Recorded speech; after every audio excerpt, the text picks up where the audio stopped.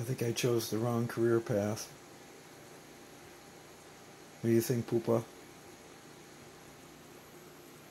Pupa cat. What you doing there, kid?